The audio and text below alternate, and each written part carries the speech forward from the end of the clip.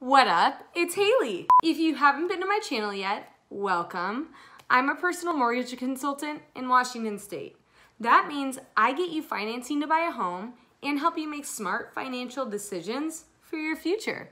Holla. The last two YouTube videos, I've kind of been breaking down what a buyer's and a seller's market is. Today, I'm jumping into something a little bit different. I wanna ask you a question or maybe a couple questions. Are you confident in the current housing market? Are you confident in your ability to obtain a loan for a home? Are you confident in your ability to repay that loan?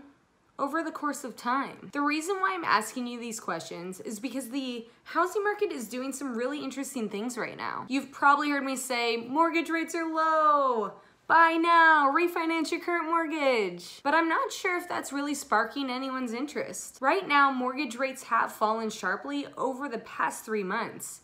To give you an example, last November, mortgage rates were in the fives.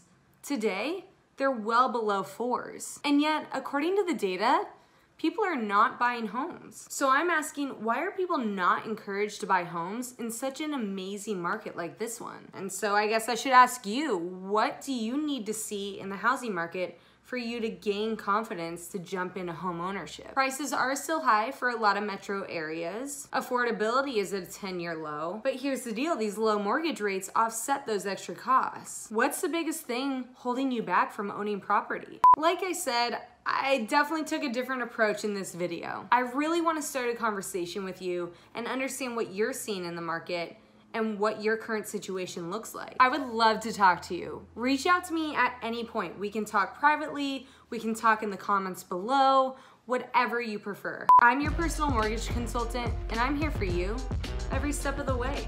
Thanks for watching.